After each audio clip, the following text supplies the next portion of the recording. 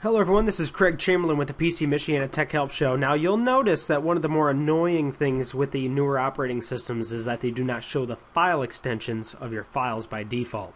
Let me show you what I mean. If I go to my documents here and I scroll down, I can actually see my file extensions after each file. See this is a .xls, this is a .xls. The advantage of this is it actually lets you go in and change the file extension if you have to, just by deleting it and entering a new one. Well, by default, it doesn't always allow you to do that. It really depends on the document.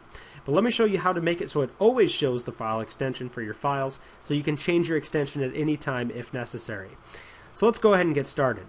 Now the first thing you're going to want to do is, as I did, open up your computer. Let me show you how to do that again. Just select the Start button, and then select Computer.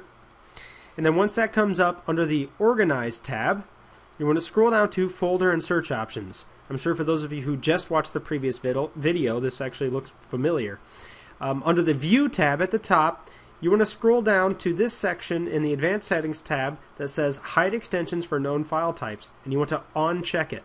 After you've unchecked that, it'll actually start showing all of the file extensions for every file that's on your system. So then after that, go ahead and select Apply and OK, and you're pretty much good to go at that point. So that's all there is to this video. I wanted to show you guys how to sh always show the file extensions in Windows 7. It's a very useful tool to have and it should always be enabled for most of you because in a lot of cases you need to change those.